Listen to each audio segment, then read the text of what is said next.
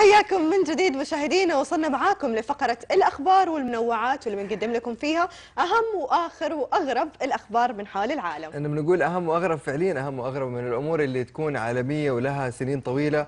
ومن أحد لما نتكلم على شيء آه، عالمي يعني أكيد آه، من الشركات العالمية اللي تركت بصمة وواحدة من هذه الشركات والت ديزني والشركات اللي بتنتج الأفلام ال- ال- خلينا نقول التاريخية. منها the Beauty and the Beast اللي شفناه بصورة رسوم متحركة عادية خلال السنين اللي راحت. الآن آه، فيلم Beauty and the Beast الجميلة والوحش أتربع في على عرش عالي جدا بعد ما انتجته فيلم شركة والت ديزني على آه، إيرادات سينما أمريكية وحقق خلال الافتتاح فقط آه، خلال عطلة الأسبوع إيرادات فقط 170 مليون دولار.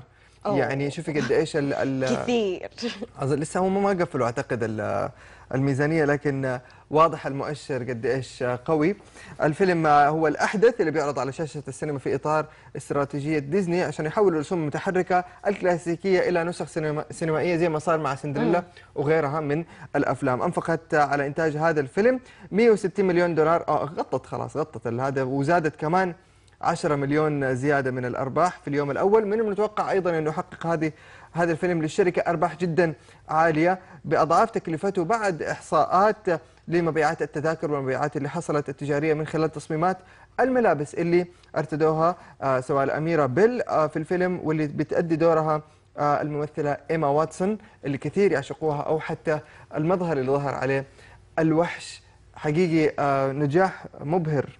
تصدق تراد يعني نحن شفنا the Beauty and the Beast بأفلام سينمائية كانت جدا كثيرة هذا مو آخر آه هو آخر فيلم يعني. يصدر آخر إصدار. آخر إصدار ولكن شفناه قبل كذا ما أعرف إيش فضول الناس اللي كل مرة نفس القصة بس الأشخاص ممكن يتغيروا في كل فيلم جديد بنشوفه ولكن هي في النهاية نفس القصة وبرضه بنروح وبنتفرج عليه أقول لك هو إيش؟ فضول أتوقع مو فضول أنا بوجهة نظري أكثر مما إنه العين تبغى تشوف الشيء الجديد ال quality من من 3D من تجسيد للشخصيات من ملابس لأنه هم ممكن نفس الفستان الأصفر حقها لكن يزودوا details يخلوها عصرية على نفس ال- الزمن اللي إحنا فيه وهكذا لبس الوحش الوحش نفس الشيء صحيح. يصير فيه تجديد وحتى ما يكون مرعب زي ما كان قبل أو أكثر رعبا على حسب إيش ما بس لا حقيقه. أنا شفته يمكن ثلاث مرات هذا الفيلم بالله عليك. إي والله ما شاء الله. بس مو الجديد القديم أنا ولا مرة لا الافلام الكرتون ولا هذا لا يبغى لك تشوف الجديد لأنه. حقيقي حلو روح لخبري الثاني الموجود معي اليوم تقريبا هو من أغرب الأخبار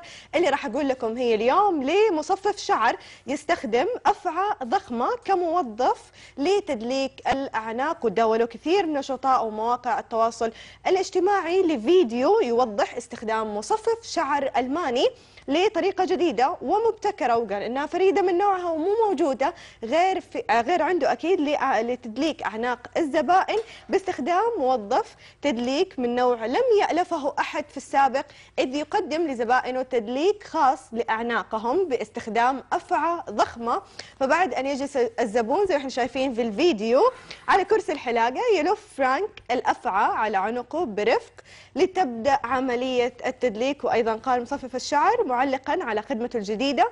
لقد خصصنا يومين في الأسبوع لإجراء مساج مجاني لزبائننا باستخدام الأفعى ويشهد الصالون ازدحام ملحوظ بالزبائن في هذين اليومين للحصول على هذا المساج المميز. وأيضا أضاف أنه جسد الأفعى التي يبلغ طولها حوالي المترين يتكون بمعظمه من العضلات وهذا ما يجعلها مدلكا مثاليا لعضلات العنق. ما حددوا أي يومين؟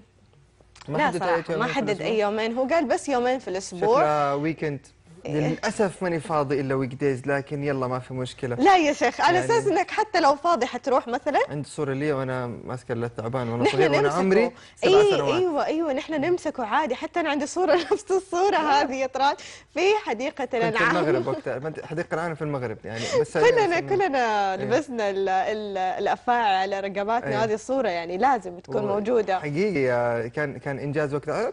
piece of cake على فكره إيش الثعبان يتلف حول رقبتي. practicing لايش هذا بالضبط ماني عارف. يعني أنت تقنعني إنك راح تسويها مثلا؟ أيوه. والله. اللي بعده أحسن من جد. أتاريك هذا الاسم اللي لابد إن إحنا نركز عليه أكثر من الثعابين. هو شعار لمهرجان جدة التاريخية آه، واللي بتحتضن ركزوا معي في التاريخ 30 مارش إلى 8 أبريل. هذا الوقت أو هذه الفترة اللي راح تحتضن مدينة جدة فيها الفعالية في مهرجان جدة التاريخية في نسخته الرابعة بعنوان أتاريك.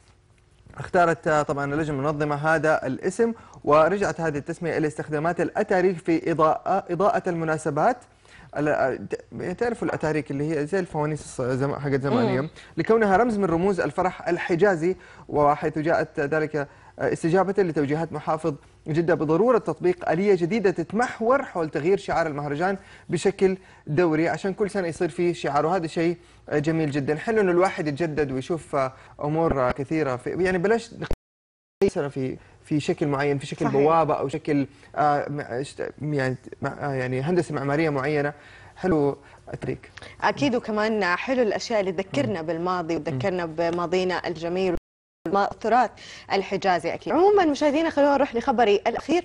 ومعي دراسة ممكن نستخدمها كثير لأنه الدراسة تقول أنه الموسيقى الحزينة تحسن المزاج.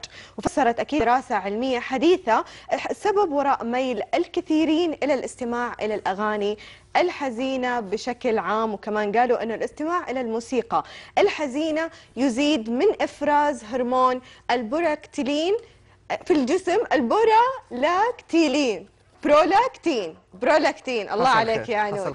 في الجسم هو المسؤول عن أحداث التأثيرات الإيجابية على مشاعرنا وأيضا أكد الباحثون في مركز العلوم المعرفية أن الأكثر عرضة للموسيقى الحزينة هم أكثر تعرضا للاختبارات العصبية من غيرهم ويزيد لديهم هرمون البرو البرولاكتين. okay. وأوضح أيضا أنه يتم إفرازه في الحزن الشديد لأنه يعتبر مهدئ طبيعي للأعصاب وأيضا يسهم في تقبل الأمور وتحسين المسا... المزاج.